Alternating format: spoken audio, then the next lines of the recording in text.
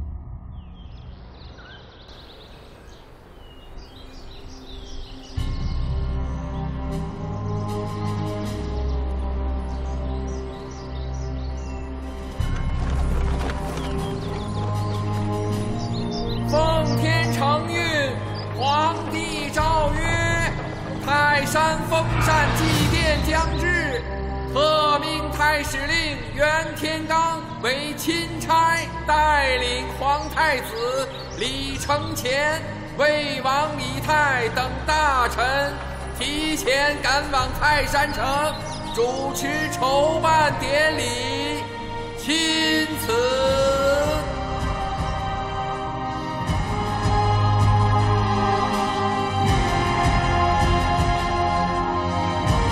奉旨钦差，封禅祭奠大臣太史令袁大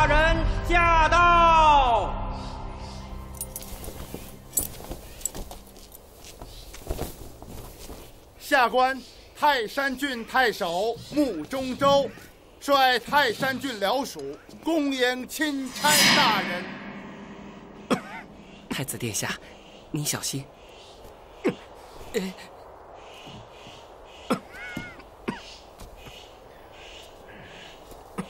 皇兄啊，这身体如此虚弱，哪能经得起这几日颠簸呀？此等场合，有我和袁大人便可代劳。让魏王费心了。袁大人不见了。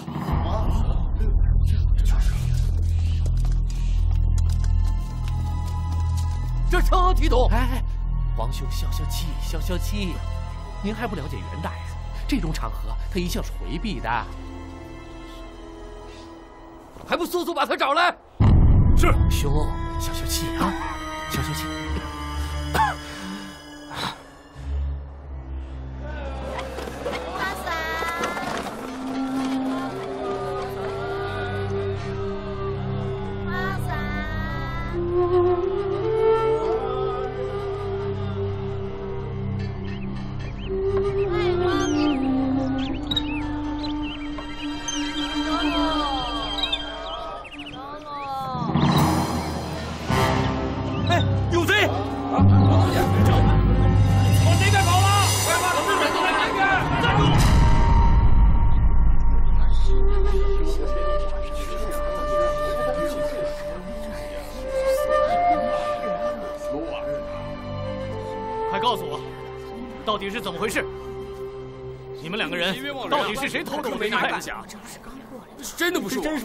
是你，那是谁？本来不是我干的。看见我拿你们俩别吵了，我的玉佩到底是谁偷的？周兄，我没拿呀。哟，元兄，不是我，是你啊！好好啊，这是何事啊？刚才我在街边小摊儿挑选东西，腰间玉佩突然被一个头戴黑纱斗笠的黑衣人偷走。我一路追来，追到那边茅厕，却发现那个贼人已经将斗笠和外套脱在了外面，藏进了茅厕。我在这里等着，出来的就是他们三个。不是我啊！捕快搜他们的身，却发现我的玉佩已经被调包了。是否有路人认得出他们？有，那边店铺伙计说，他从窗户看到穿过人流跑过去的斗笠人是个身高七尺的男子。我不过第一个告诉我的人说，那贼身高六尺。是我呀刚才被那个贼人撞倒的老者说是个女子。不不不，这里面两男一女，每个都合乎其中一个人的说法，这叫我如何辨认？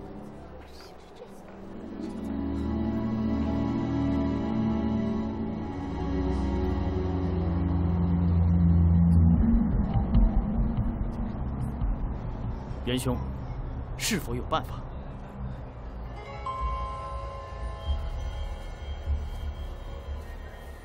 你们三个把手伸出来。呃呃，你看，你烦不烦啊？我还有事儿呢。小罗子，赶紧伸出来，伸看看，看啊！你看什么呀？好，你看。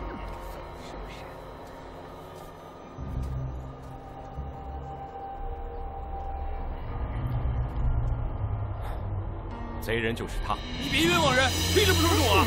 元兄，此话怎讲？那个店铺伙计是从窗户往外看的，你看，那里人流拥挤，正常的话根本无法在人流中奔跑。如果是你，想跑的话怎么办？对呀，如果想跑的话，就必须避开人群，在店铺的台阶上跑。这样一来，伙计从窗户看去，就会把六尺的人看作是七尺。可是。刚才那个被撞倒的老者，明明说是个女子啊！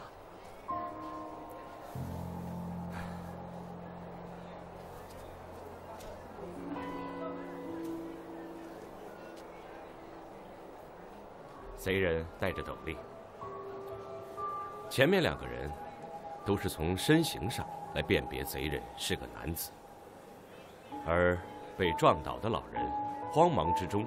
根本来不及辨认那人的身形，也就是说，那位被撞倒的老者只是看到了他细长白嫩的手和手腕上的玉镯，把贼人误认成了女子。燕兄，果然是高人，推理之精妙，让周某佩服啊！周兄过奖了。站住！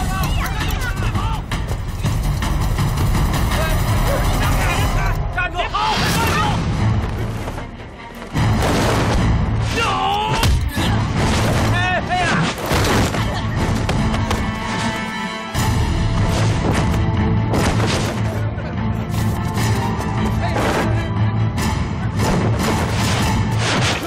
呀！哎呀！好，到我手里还想跑？老实点！以后搬差对我利索点，带走。哎，袁大人还想跑？袁大人。啊，您怎么在这儿啊？我们到处找您呢。先别说了。玉佩呢？在哪儿？走，带我去找。哎呀，真倒霉。啊，小兄弟，啊，打扰你做生意了，实在抱歉。来，我来帮你。哎哎，不用，打扰事小。哎，可惜了这些米了。哎，真可惜。宋大人。啊，把这些米全买下来吧，稍微清洗一下还是可以吃的。对，是。袁大人，这，哈哈，你这也是捉贼心切。不过 以后要注意分寸，是多体恤民情。来，小兄弟，是。来，谢大人，谢大人，哎，谢大人，来，我们帮你收拾。好，哎，好，谢谢。来，抬上去。哎哎哎。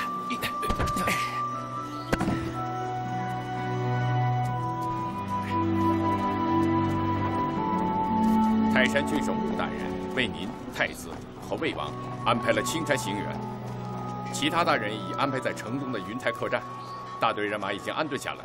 这不，我和张捕头出来找您了。行辕我住不惯，我和大人们一起住客栈。啊，这恐怕不妥吧？您身为钦差，袁大人有何不妥？元兄，嗯，好，元兄，多谢元兄出手相助。玉佩已经找到了，哈，举手之劳何足挂齿。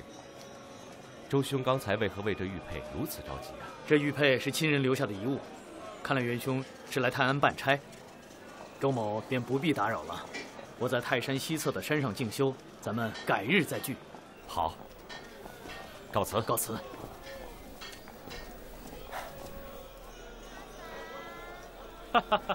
哎，宋大人啊，与上次见你时，你可精壮了许多呀！啊，是吧？看来你们两人已经成了兄弟了。哦，我和张捕头去年就认识了。是啊，袁大人，您饱读诗书，虽然和我们这些粗人不同，但是不像那些酸臭文人，性格和我们一样爽快，喜欢和兄弟们在一起。啊，张捕头，你这可是匹好马呀！哎，宋大人，好眼力，怎么样？你来试试。嗯。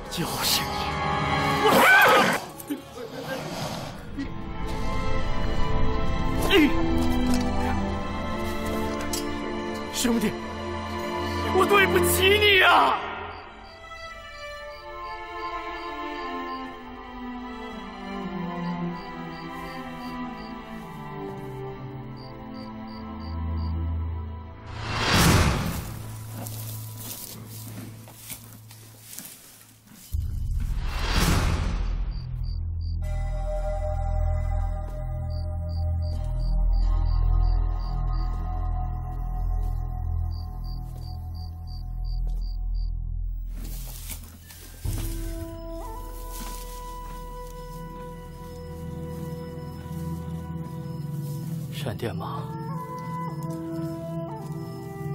大哥，只能陪你到这儿了。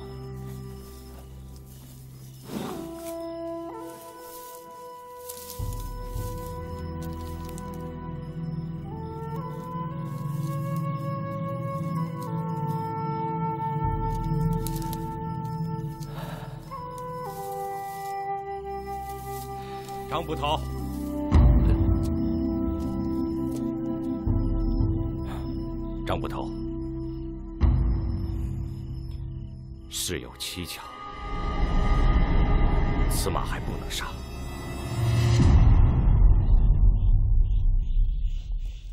兄，啊，周兄，云兄，你找我来是？请你来是有事相求，咱们出去再说。哦。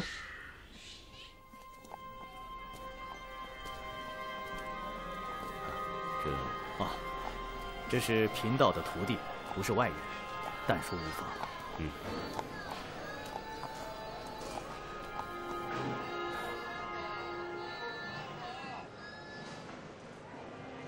宋大人的死，我怀疑是有人对马匹做了手脚，但是太子又想将此马立即处死。为了查明真相，我想请周兄暂时替我保管此马。只要周某能做到的，元兄尽管吩咐。嗯。哎，周兄平日云游四处，精通奇门异术。平日也请帮我留意一下，此马有何异常。几年前，周兄借予我太玄本宫术，我已熟读多遍。此行正好带在身上，也该物归原主了。既然元兄如此喜欢，周某就将它赠与元兄了。哦，元兄不必推脱，贫道那里还有副本。那袁某就笑纳了。贫道那里还有一本下册，袁兄如果有兴致，晚些时候贫道将他送到府上。哎呀，啊，那多谢周兄。那周某先行告辞了。恕不远送。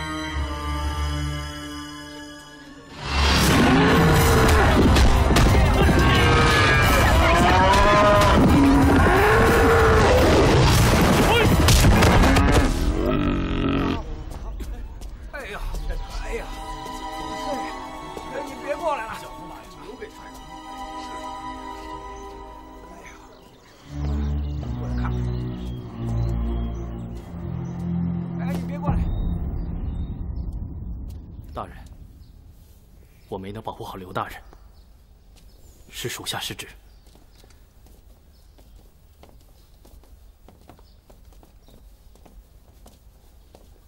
太子殿下驾到！参见太子殿下。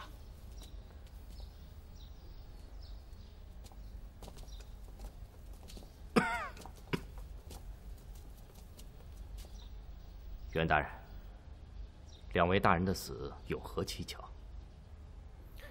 启禀殿下，尸体和牲畜都检查过了，并无异样，应该是意外。此案可不是意外这么简单。袁大人，您多虑了吧？马匹和耕牛都是家中驯养的家畜，怎么会于闹市中单单袭击一人呢？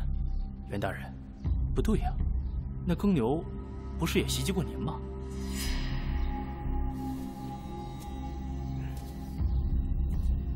这说明我也是目标之一。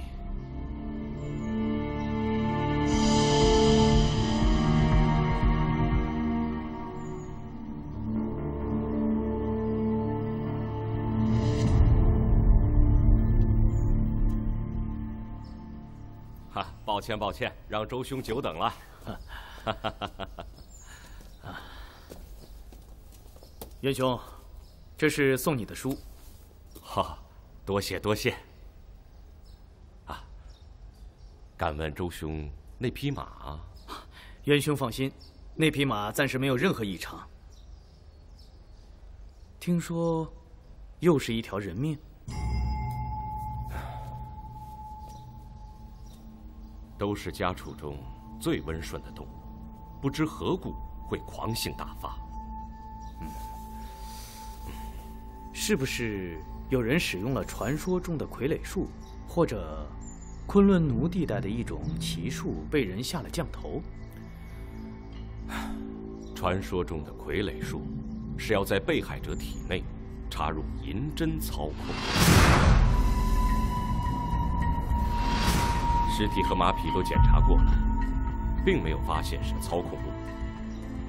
至于下降头，那是要取被害者毛发，直接对被害者下手，并不是借助其他牲畜杀人。看元兄如此着急，贫道却无能相助，实在惭愧啊。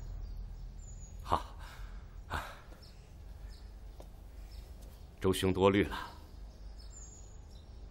多年不见，本不该提这些官府之事，让周兄费心。对了，你一向喜欢四处云游求道，为何突然返回故乡啊？啊，前些日子家人过世，贫道回来料理一些后事。敢问是哪一位？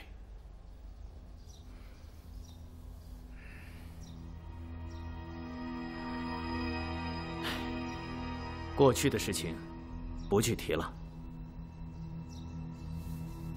官府重地，贫道不宜久留，咱们改日再会吧。啊，袁某失礼了。改日，等我办完了这些公事，必定登门拜访。告辞。这件事情办是。是真没趣。你说，魏王驾到！哎呀，魏诸位大人，诸位大人，魏王，这几日之内两岸连发，诸位大人可要小心呐！谢谢魏王，谢谢谢魏王。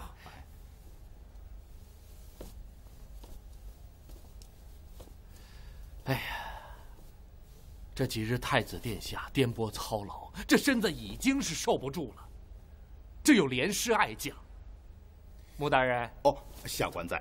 这可是你的失职啊！下官知错了。皇兄，我看你脸色欠佳呀。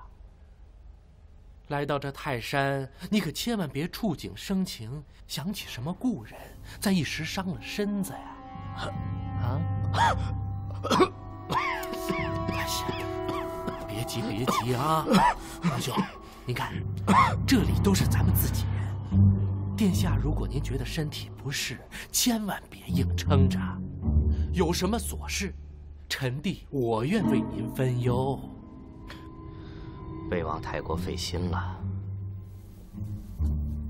哎，这些都是臣弟应该做的呀。殿下，您身体如此虚弱，就算是我代您完成礼仪庆典的撰写之职，那也是应该的呀。王爷，哎呀，王爷，我们何尝不想代替太子完成此职啊？不过，在此祭奠之前，应该是储君在职。我们可不愿留下这图谋篡位的骂名。如今王爷愿意为殿下的身体着想，啊，真是殿下的鸿福啊！是啊，就是啊，是啊。臣弟的心意，我领了。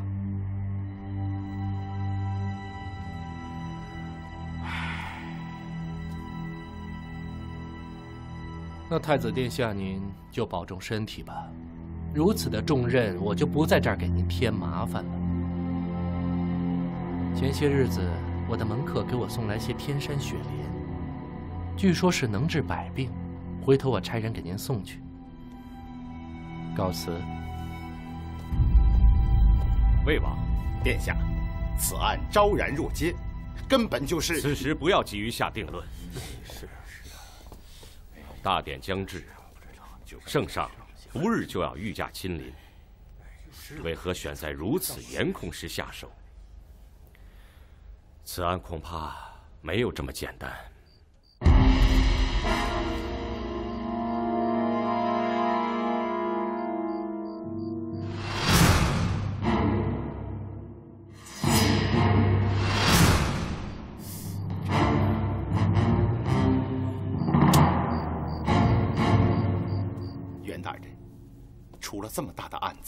这可如何是好啊？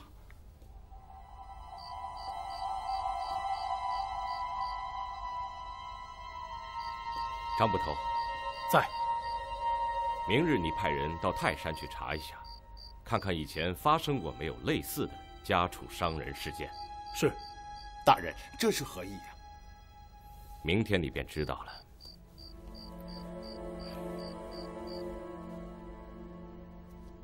张捕头，在。为使祭祀大典顺利举行，今日起，你协助本官专办此案件。穆大人，下官在。你暂时代理主持大典的准备活动，保证大典按期举行，不得有误。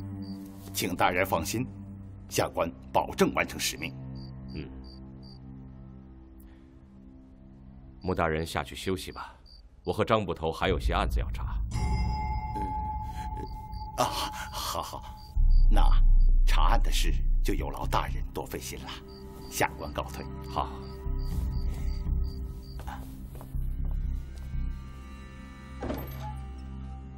大人，您究竟发现了什么线索？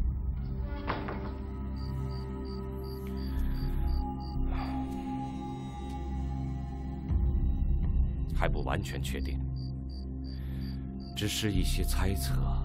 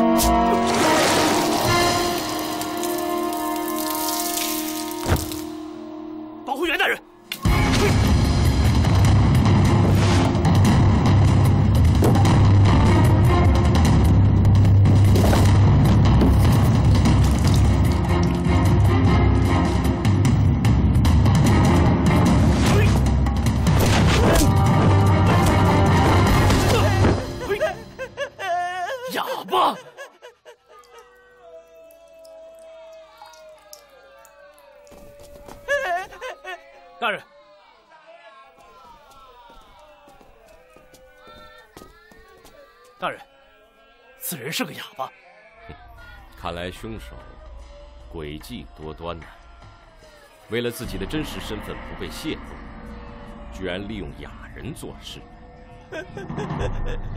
来人，在。通知各位大人，到客栈膳房，再叫厨子买几只鸡回去，要活的。是。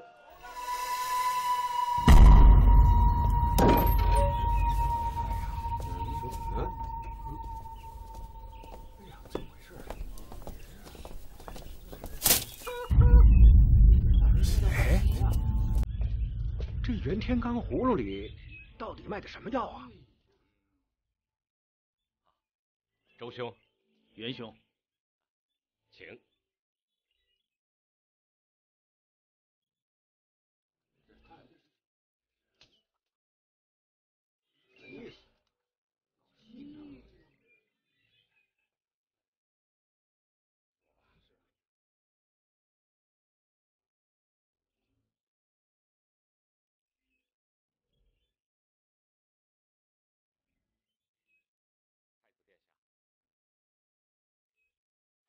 让各位久等了。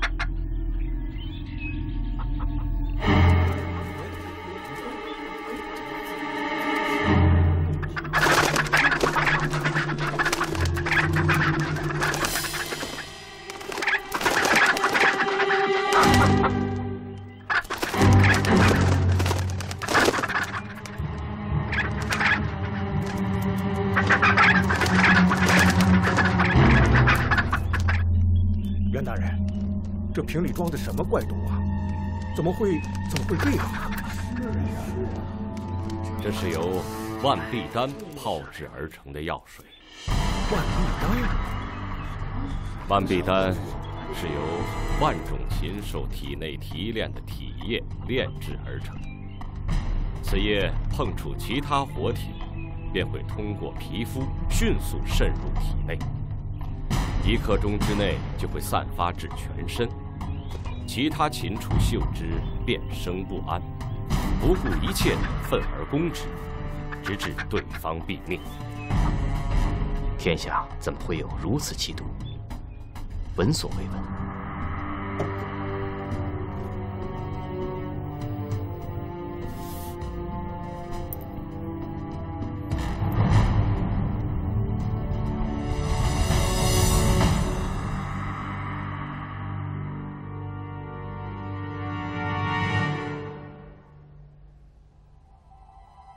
此毒虽无色无味，即使是银针都不能测出其毒性。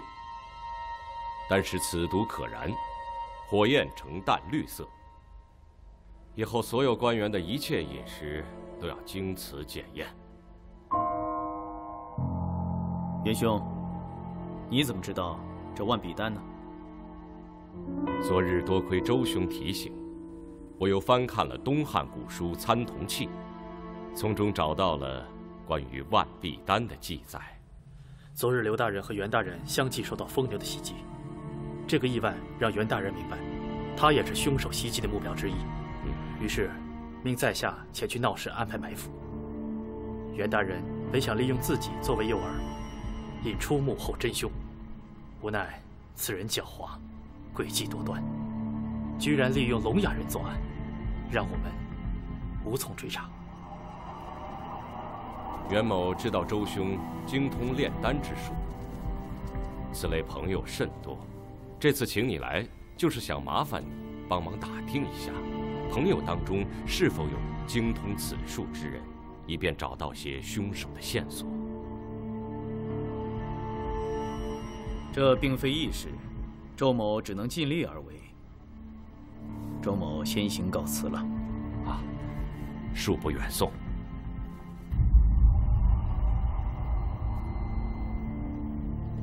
大人，现在凶手的线索毫无头绪，眼下最重要的，应该是去寻找凶手将要袭击的其他目标。还找什么目标？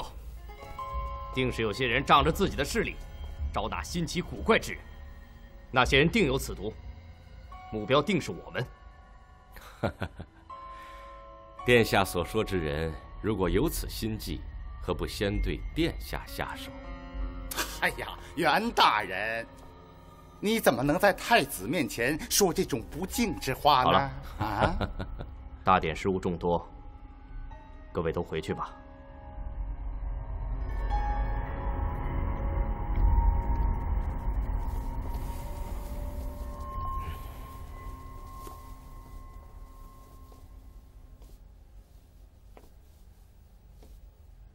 大人，禀告大人，属下遵从大人吩咐，前往乡村进行排查，果然找到一户人家，前不久刚被家里圈养的猪袭击致死。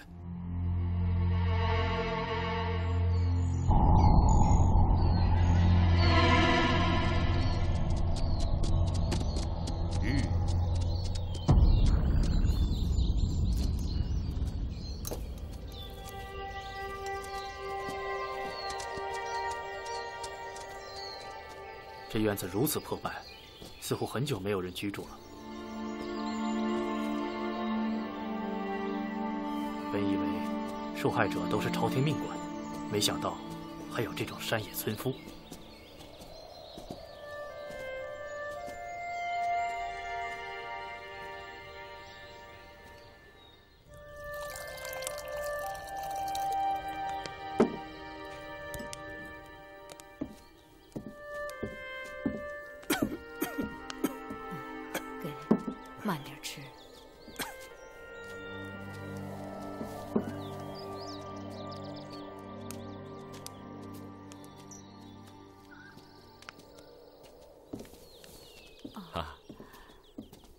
大婶儿，哎，打扰你一下 你们是？啊。我想向你打听一下，呃，隔壁这家人你认识吗？啊，认得。几天前呀，就搬走了。啊，听说十天前，他们家里有人被圈养的猪杀死了，是吗？哎，可不是嘛，都让猪给拱死了，那个惨呐！那你知道他们平日里都是做什么的吗？还有他的家眷都去了什么地方？这个呀，我倒不清楚。我只知道他们以前常年在县城里面做工，大概是一年前吧，也不知道是什么缘故，就突然回家务农了。这不，十几天前呢，出了这档子惨事儿。走的时候啊，他们也没和邻居们打个招呼。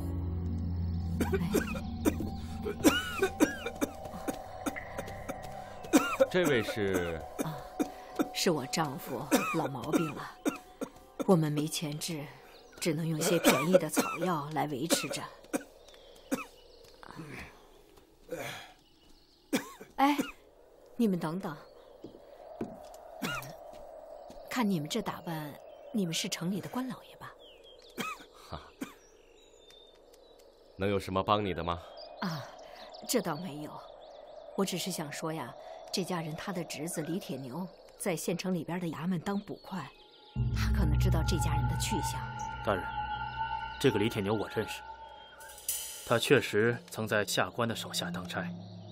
他从小由他二叔抚养长大，终日喝酒耍钱，屡次耽误公差。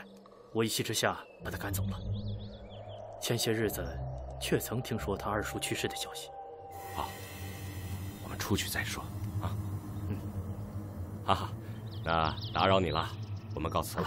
二位慢走。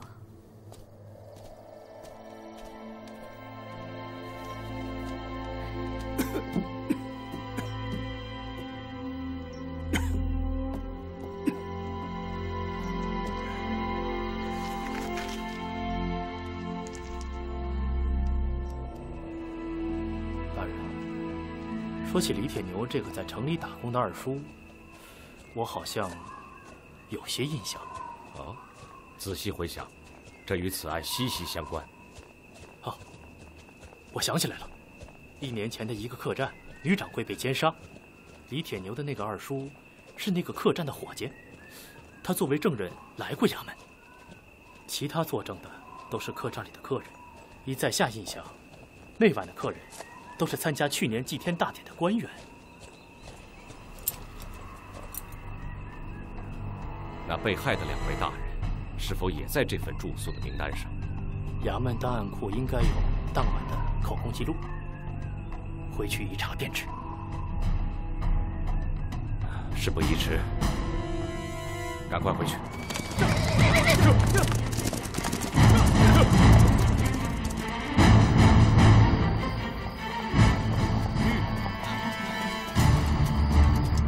大人，后院刚刚着火，档案库被烧了。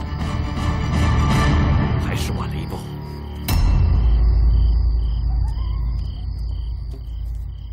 禀告大人，小的是档案库的管事，去年案件存档区毁坏的最为严重。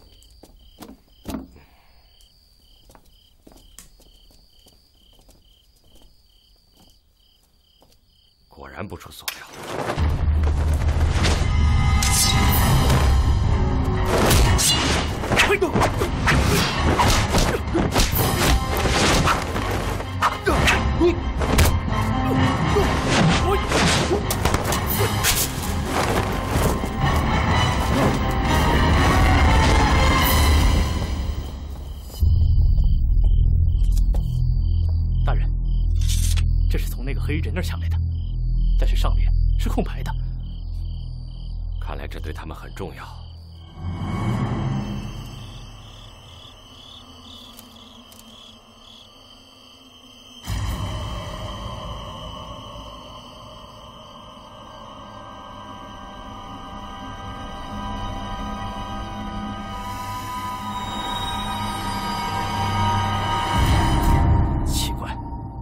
人您的名字怎么也在名单上？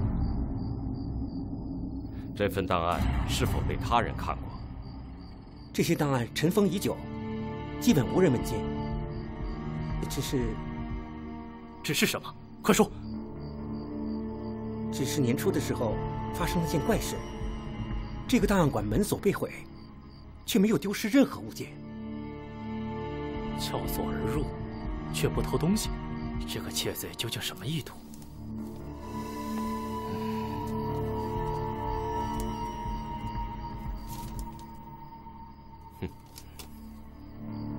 他想要的正是这份名单。之所以没有直接将其盗走，而是记下姓名后放回原处，就是为了不暴露意图。直到我们发现了这条线索，才出面破坏。哼，这次的对手不简单呐。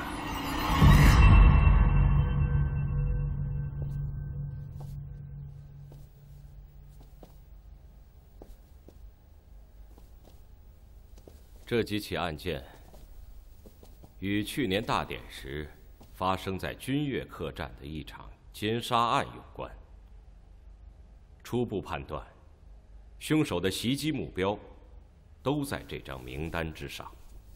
哼 这分明是贼人为自己开脱嫌疑用的障眼法，与什么奸杀案有何关系啊？奸杀案当日，我也在客栈之中。只是当天下午，我并不在客栈内。我被人调回京城，还不知详情。哼，他们连你都敢杀，这不明摆着名单是个幌子吗？不对。当天被调回后，一到京城，我就发现这调令有问题，其中肯定大有蹊跷。魏王到。哎呦，皇兄，身体如何呀？最近，我听说这城外又有几户农家人遇害了。为了保证大人们的安全，我特意选了几名得力的助手前来保护大人们。啊，这些事就不劳魏王费心了。哎，哪里？我要是再不来，恐怕有些小人就要陷我于不义了。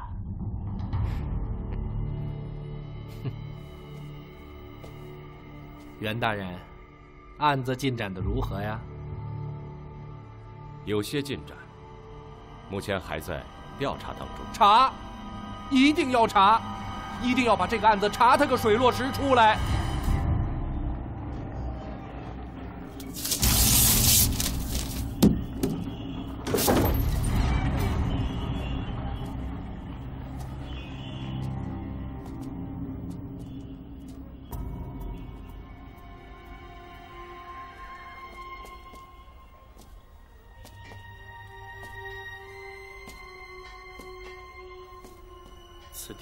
荒废多时，恐怕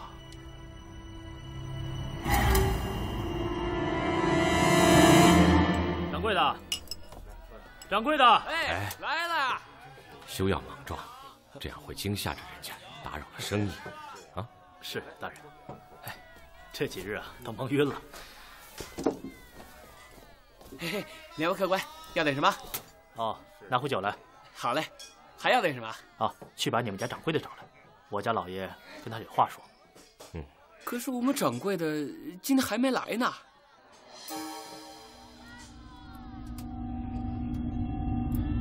你们掌柜的每天都来的这么晚吗？不是，他一向来的很早，像今天这样可不多见。伙计，哎，酒钱我们照付，马上带我们去掌柜家。好嘞。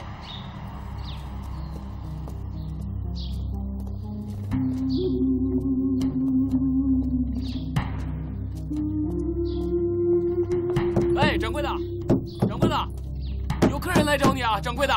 可能来晚了。张捕头，把门撞开。是，袁大人。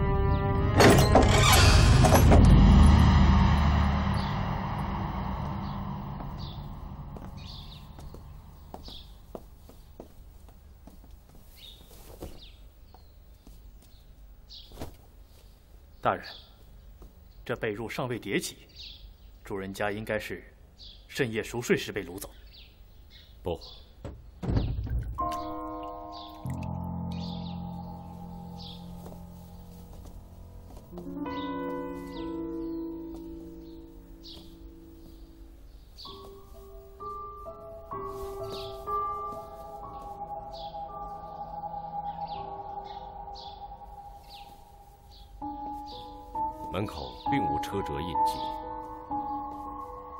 车马将二人一并掳走，并非易事。也许并不想将二位杀死，想必是将他们二位藏哪儿。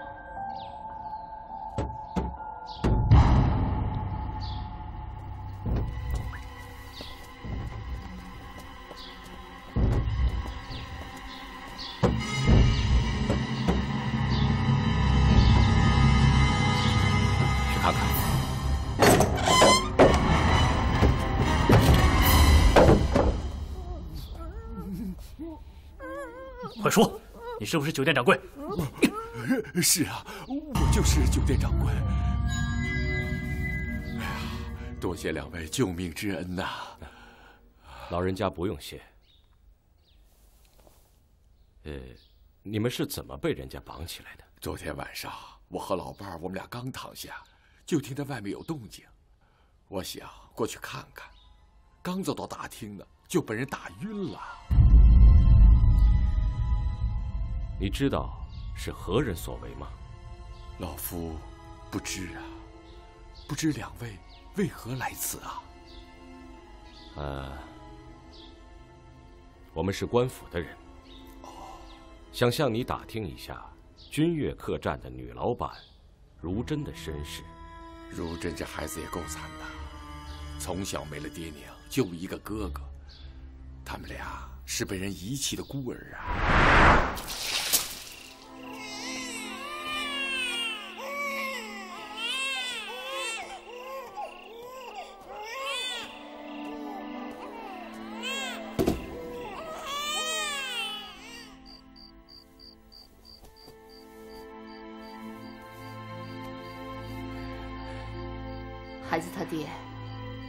已经有孩子了，再来两个，我们可是养活不起呀。我不在想办法呢吗？再说呢，你总不能把孩子再给扔出去呀、哎，对了，君悦客栈的老掌柜，他们不是没孩子吗？总想要个孩子。我看呐，把这孩子送给他们老两口来抚养吧。他二老过世后，就把客栈留给了他们兄妹二人。从此以后，他哥哥常年在外面飘荡着。那如真生前是否出嫁呢？出嫁倒是没有，不过，在他出事之前，他有个相好的。哦，那人是？小心有毒！夫人，夫人，啊！张捕头，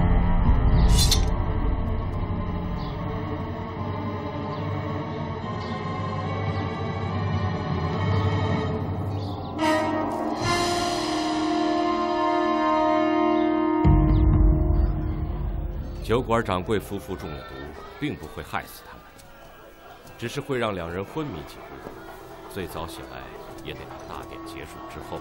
君悦客栈奸杀案已破，凶手已经被正法，凶手为何还要伤及无辜？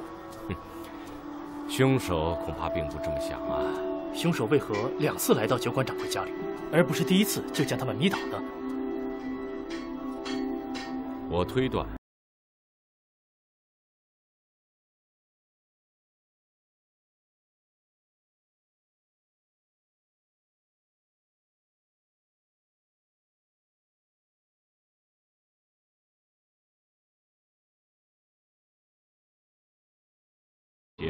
制作炸弹用的布料碎片，那可是宫廷内专供的，可能是与皇室有关。皇室？白大人，袁大人，哎，白大人，何时离开客栈？在屋里待久了，出来活动一下，就在这门口附近，并无大碍吧？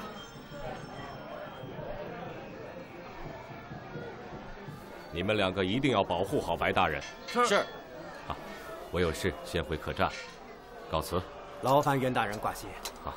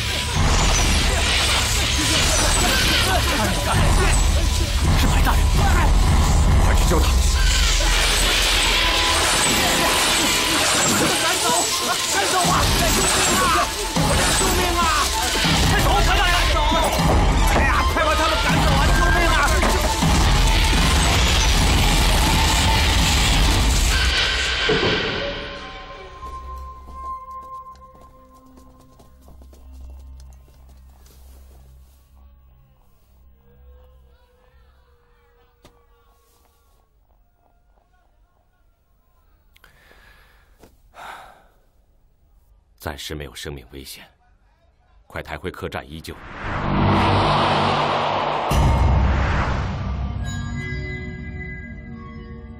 大人，大人，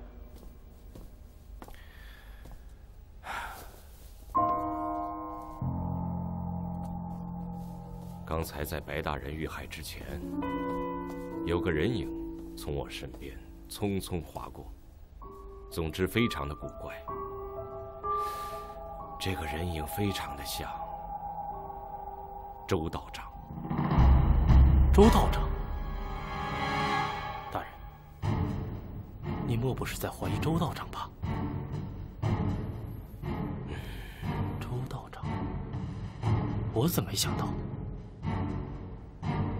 客店女掌柜云游四方的哥哥。撤撤撤撤撤是。是！你看，前面好像有人家起火了。糟了，是周道长的茅屋，快去看看。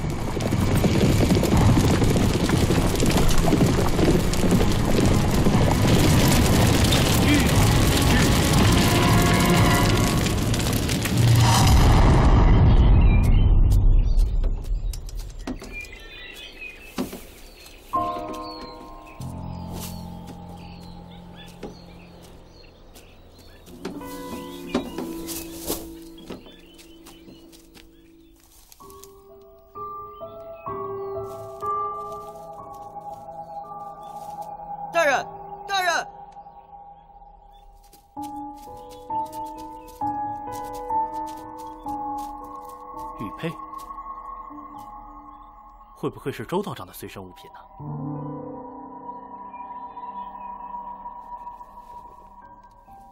哎，大人小心！此物刚从火中取出，小心灼伤啊！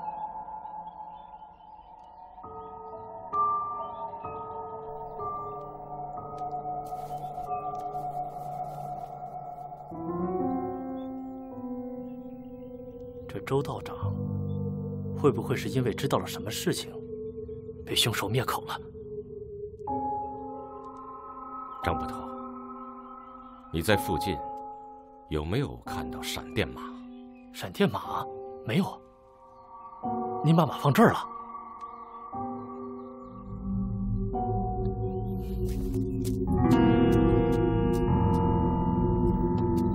来人，在！四处找找我的闪电马。是。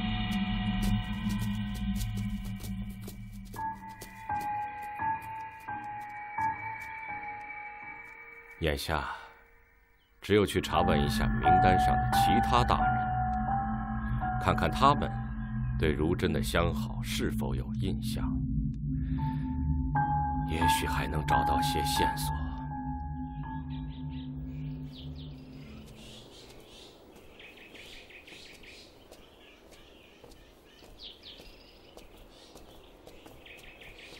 参见大人。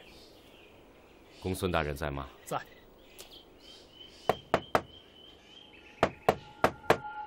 不妙，把门撞开看看。嗯。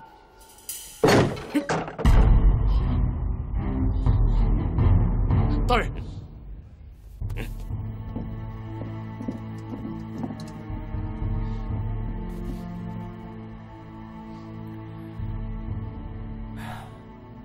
已经死了。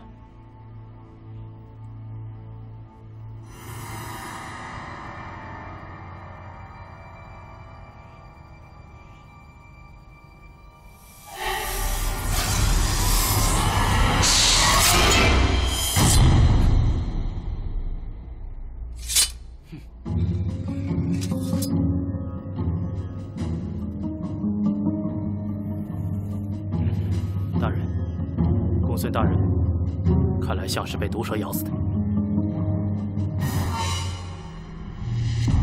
大人有令，客栈上下严加戒备，请各位大人严加防范。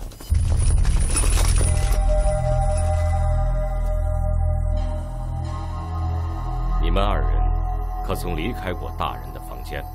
禀告大人，属下从未离开过房门半步。一个时辰前，属下小姐曾经离开过片刻。大人，在门外的门梁上发现了这个。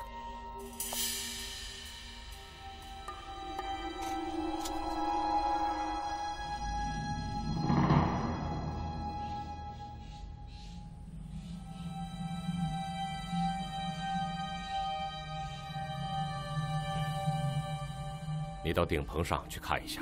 是。太子驾到！太子殿下，太子殿下，袁天罡，大典将至，凶手如此猖狂作案，你如何向皇上交代？殿下，杀害公孙大人之人，并非是那连环作案之人，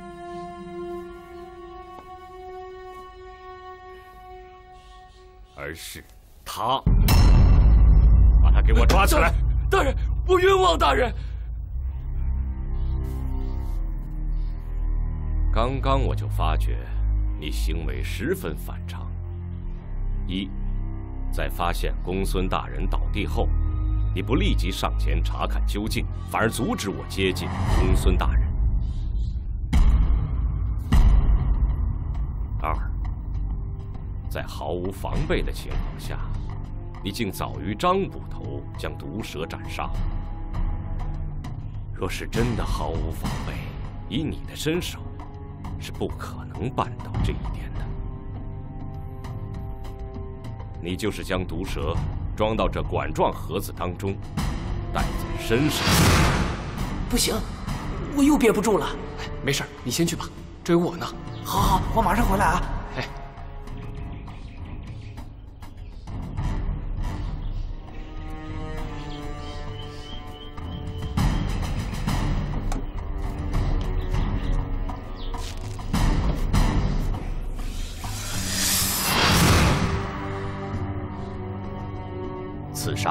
命官，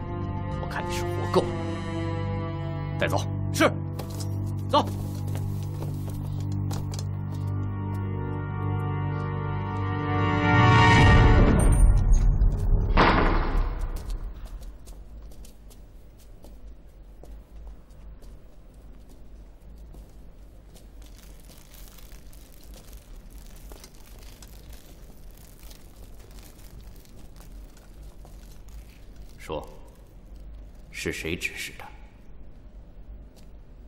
说。刺客保护太子！有人想毁灭证据，快去追！是。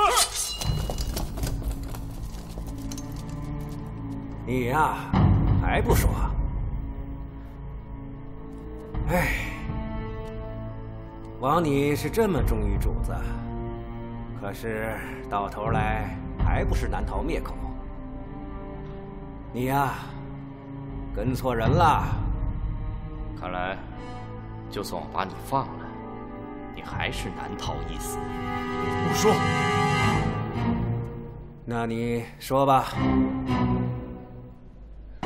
我是受魏王之命，除掉太子心腹公孙大人，将其伪造成连环杀人案，以避人耳目，好让你们无从查起。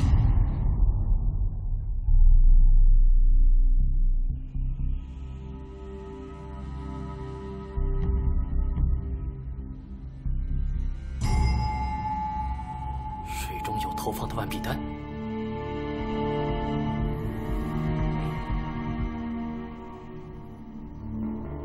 茶杯里的水是满的，还没有动。看来不愧是先于凶手一步啊！奇怪，凶手怎么能把所有大人居住的位置摸得这么清楚？还查什么？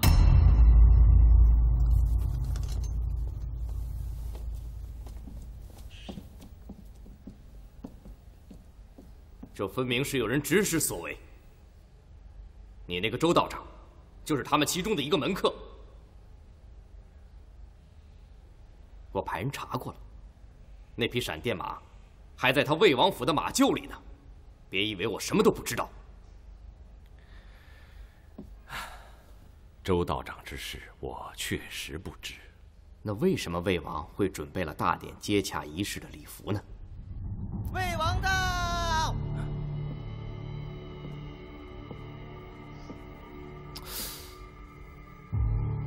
哎呀，皇兄，袁大人，你没告诉他？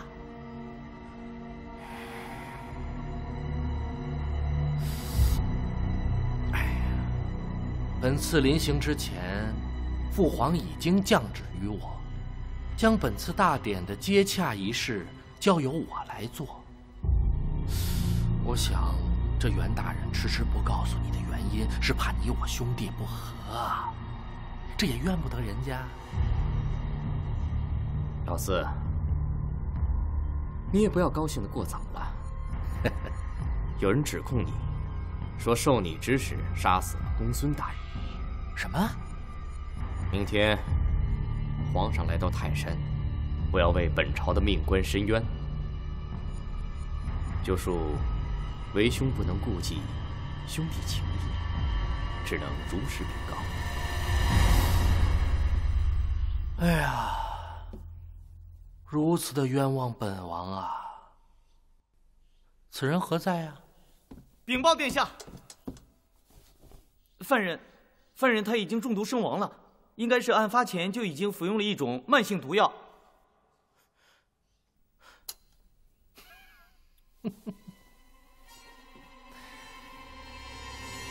可惜呀。哈哈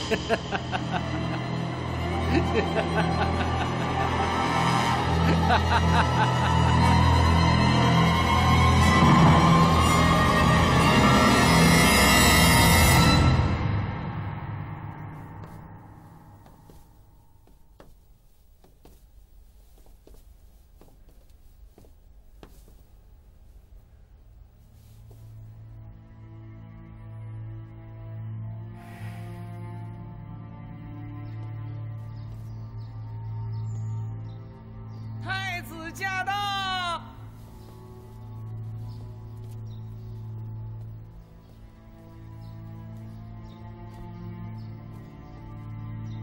先退下吧。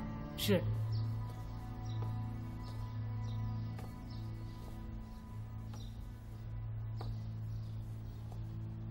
袁大人，案情有何疑点？那天将酒店老板迷倒的人，应该是太子派人去的吧？不错。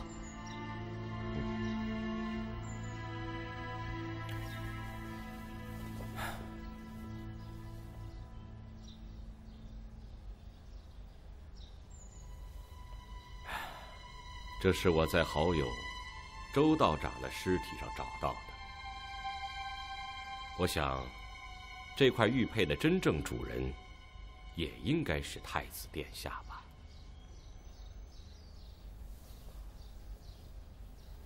你是从何而知？今天我在魏王身上，也看到一块一模一样的玉佩。这个玉佩还有一个秘密，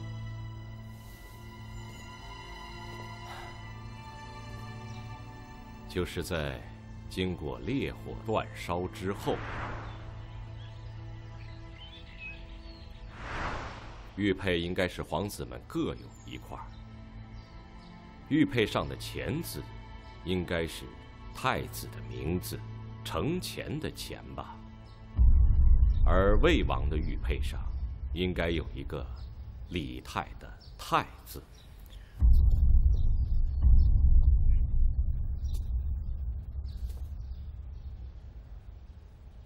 如果没说错的话，殿下应该就是客栈女掌柜如真的相好。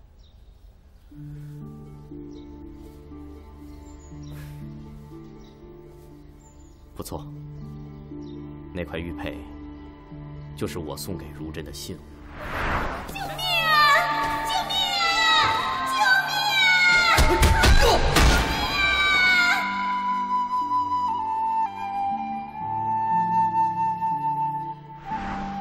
后来得知，那姑娘名叫如真。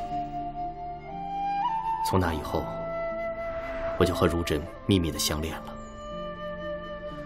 事发当夜，我如约在老地方等待如真赴会，可是她迟迟不来。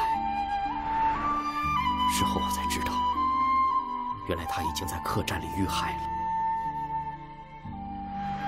奸杀案的凶手被抓住以后，我和如真的感情就永远的埋藏了起来。那天你告诉我。说本案与如真有关的时候，为了不让我的父皇知道我的这段感情，我便派人将酒馆的老板夫妇迷倒。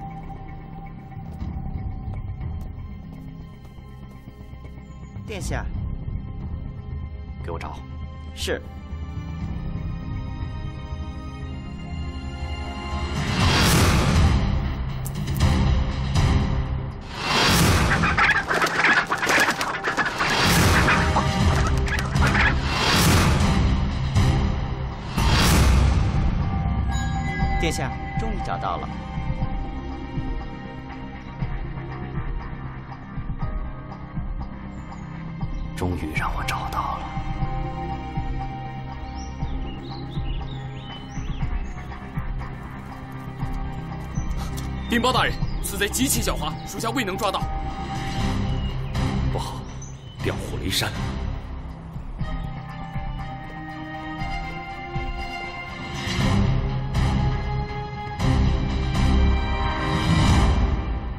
大人，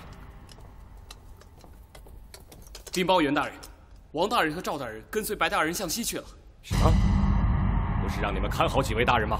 几位大人说，在旅馆等着就是等死。他们去意坚决，态度强硬，我们也没有办法呀。有人跟着吗？没有。张捕头得知消息后，已经派人前去追赶了。几位大人可有何交代？有。这是白大人留下的。地山牵挂，亘土之事。你快马加鞭，赶上张捕头，让他火速赶往西方乱石林。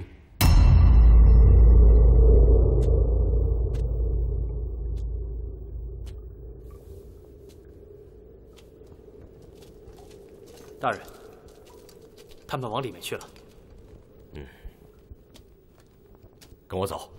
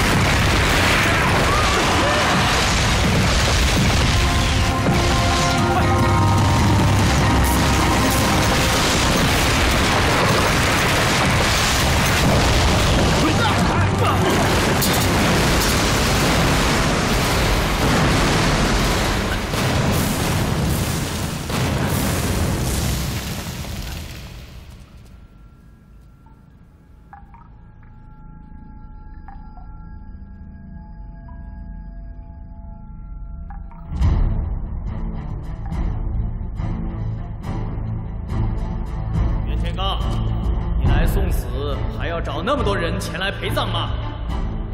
你想知道所有秘密的话，就一个人过来。大人我跟你一起去。放心，在这里等我。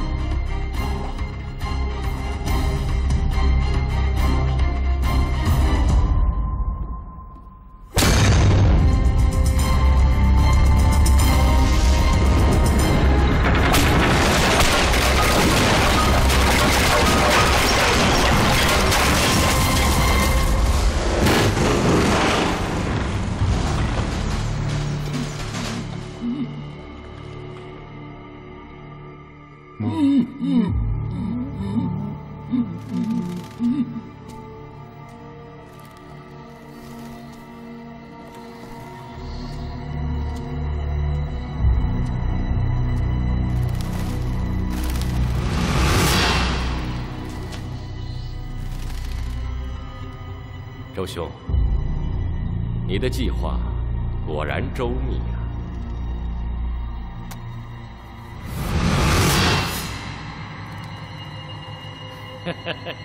元兄，功力不减当年呐！你这么快就找到了这里，请君入瓮，不也是你计划的一部分吗？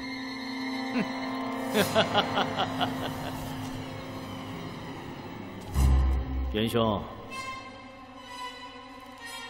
难道你早就知道白大人是我所办？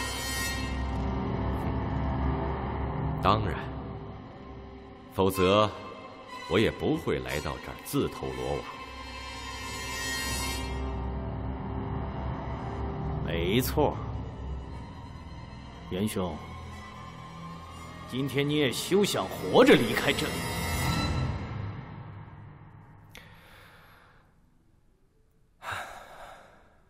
周道长，为了复仇，你真是费尽心机呀！哼，哦，说说看。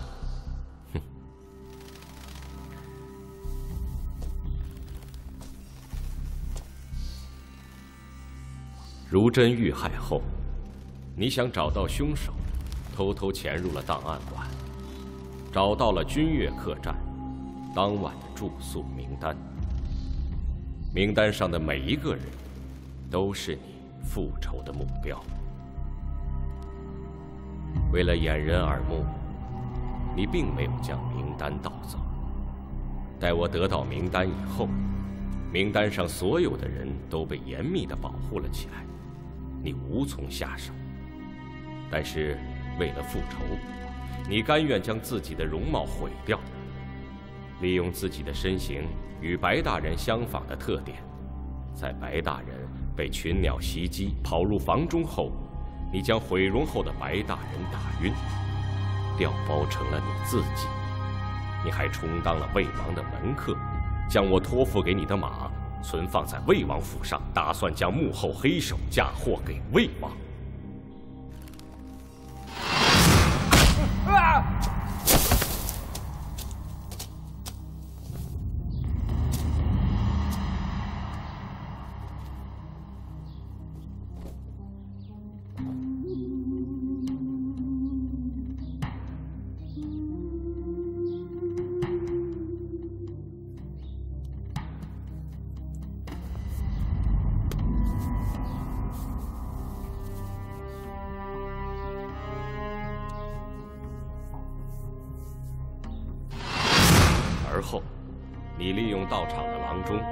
认识白大人，让郎中把你的脸包扎好，这样我们大家就把你错当成了白大人。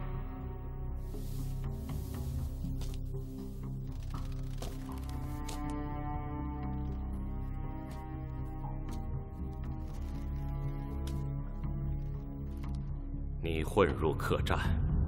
对每个大人的房间都了如指掌，因此，你就轻而易举地找到了公孙大人的客房。投毒，那又如何能说明白大人就是我所办？嗯？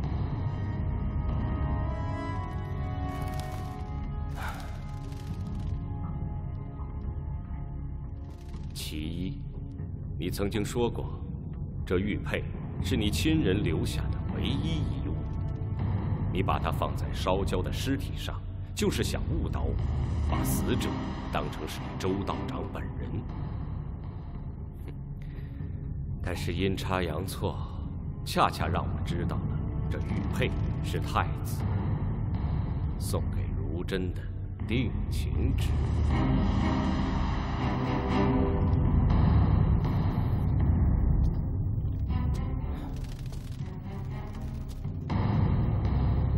其次如真本身就有一个兄长，因此我推断你就是如真的哥哥。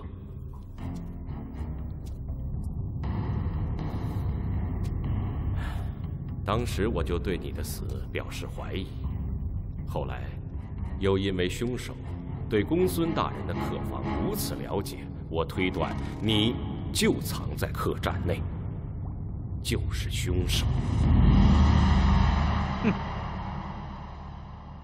元兄，推理果然鞭辟入里，只可惜太晚了。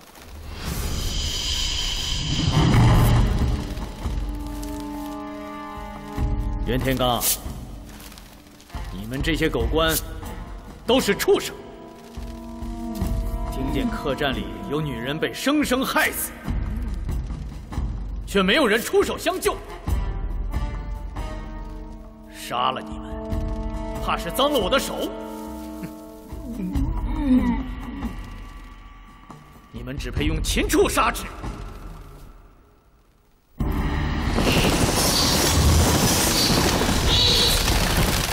周兄，你不该做这种蠢事。哼！我把他们两个人带到这里，就是想避开张捕头，引你来此一起受死。你有没有想过，这些死者，他们也有亲人？亲人？你能体会到失去亲人的痛苦吗？你不能！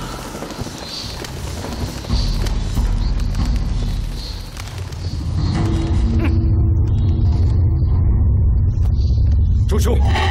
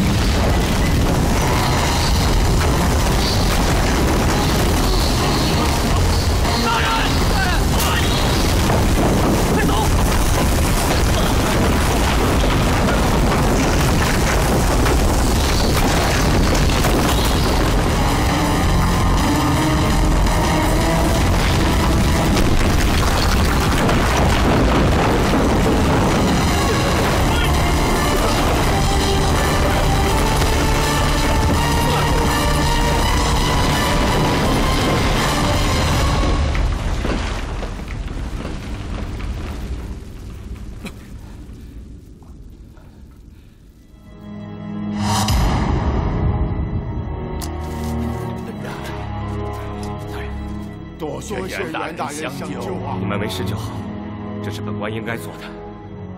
大人，这个洞口是被炸塌的，看来是有人想将此线索毁掉。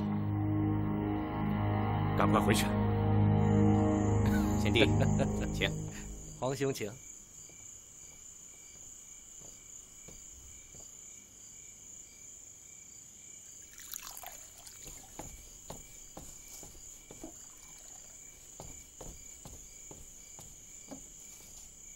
公孙大人之事，为兄一时性急，误会贤弟了。特设此宴，以表歉意。此事定是那小人栽赃于本王，太子也是秉公办事。做臣弟的，应该体谅皇兄才是啊。别喝，酒中有万必丹。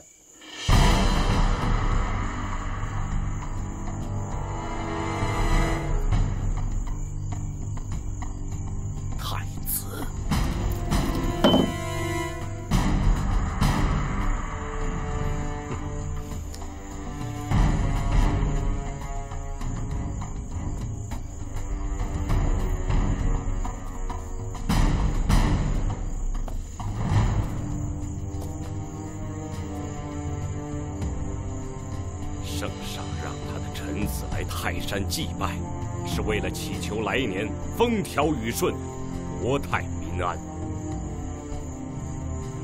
可你们兄弟二人却在这儿自相残杀。袁天罡，你真是命大，居然没有被炸死。一年前的如真奸杀案，是太子所伪造。杀害如真的元凶，正是太子本人。当年的凶手，不过是个替罪羊。案发当日，将我调回的调令也是太子所为。把我调走，你就可以整日在客栈密谋刺杀魏王之事。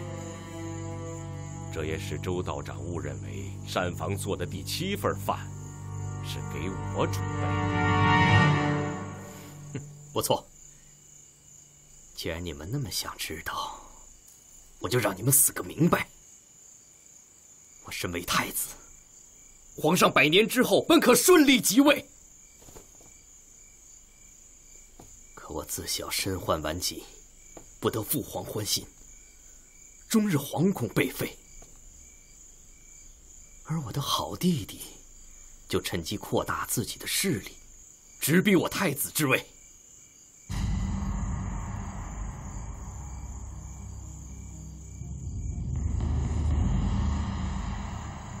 就在一年前，我借祭奠大典来到泰山之时，设计周密，想要除掉你魏王，以保我太子之位。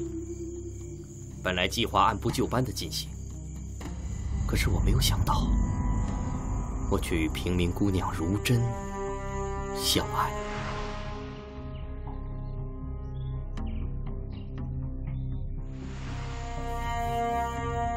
就在刺杀行动的当夜，公孙大人探查得知，如真并非是平民身份，而是魏王安排在我身边的卧底。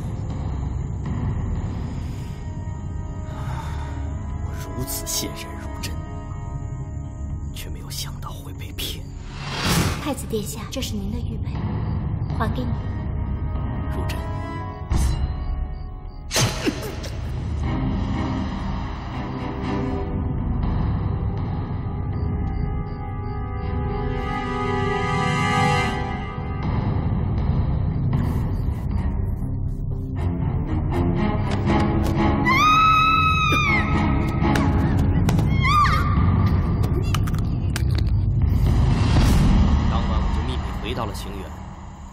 孙大人安排了一个奸杀案的假象，让一个新来的伙计做了替死鬼，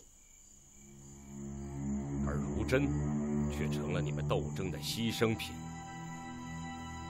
所有的奸杀档案名单都是假造的，而周道长却信以为真，要对名单上的大人们复仇。这其中还有我。这件事情啊。我得谢谢这个凶手。要不是这个凶手，我也没有机会除掉你。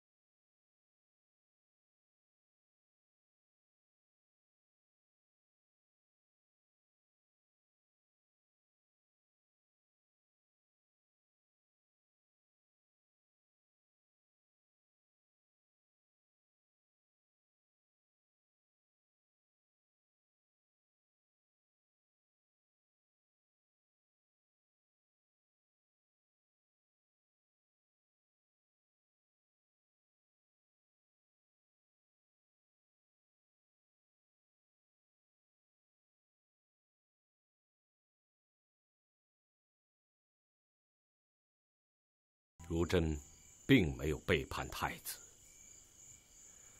如真归还太子玉佩，其实是想救你一命。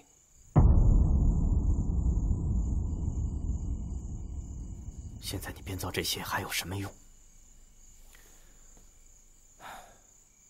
魏王将如真派过去之后，经过多日的相处，如真发现自己对太子殿下。动了真情。你计划谋杀魏王之事败露，案发当日，如真从魏王处得知，魏王早已另外设下陷阱，等着你落入圈套。如真想将此事告诉太子，怎奈自己的贴身丫鬟也是魏王派来监视自己的奸细，而不能直言相告。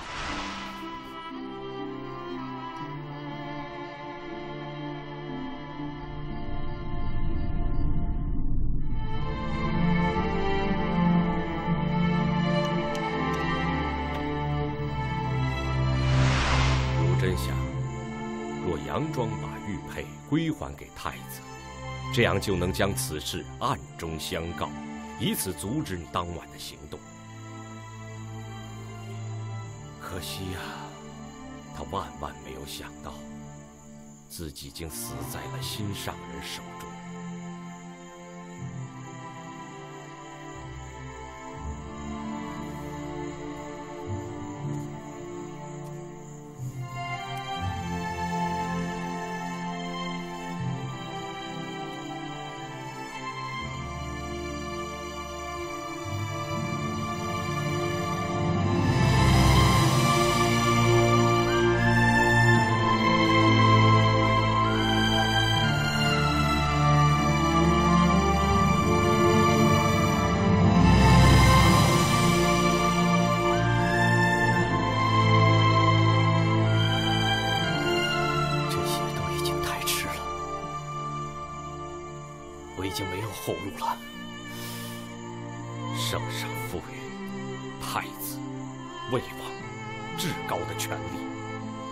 是希望你们能为江山社稷、黎民百姓谋福利。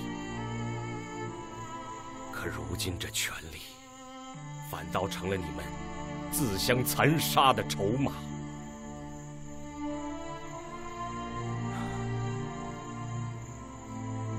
本是同根生，相煎何太急呀！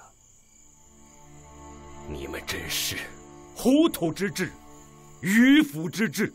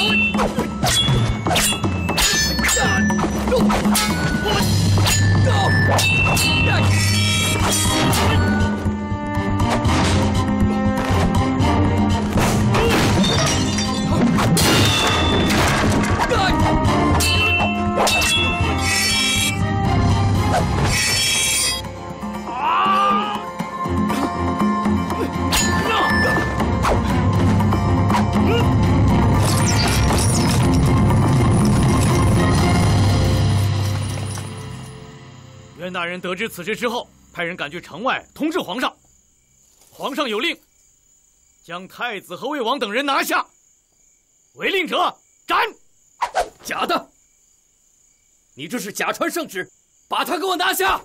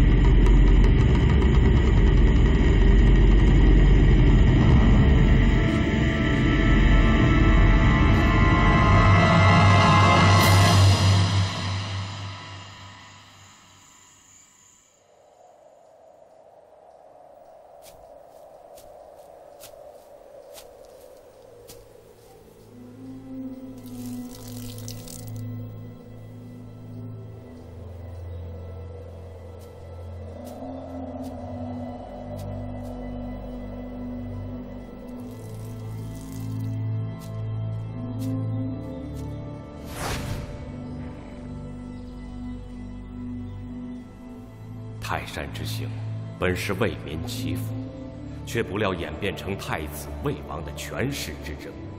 实则世间百姓的悲哀。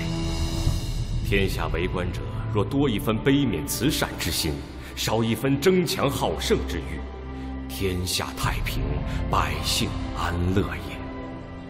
为政以德，譬如北辰，居其所而众星共之。夫子所言极是啊！大人，吁！禀报大人，京城又发命案，陛下命令火速回京。你同我一起进京吧。遵命。大典顺利举行，太子魏王位子空缺，群臣回京。回京后。太宗废太子陈乾，储位王泰，改立晋王李治为太子。登帝后名唐高宗。